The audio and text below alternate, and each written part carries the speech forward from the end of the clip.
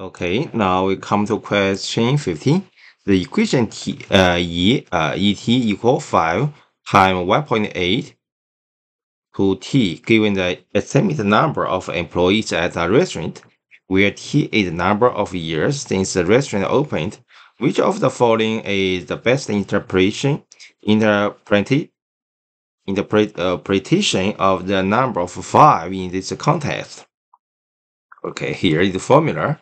So T uh T is a year. How many year? I think one point uh one point eight the here.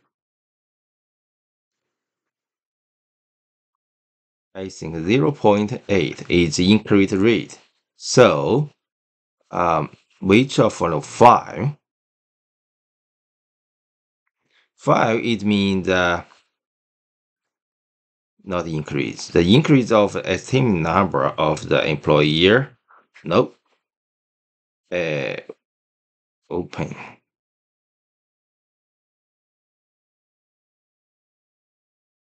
Nope.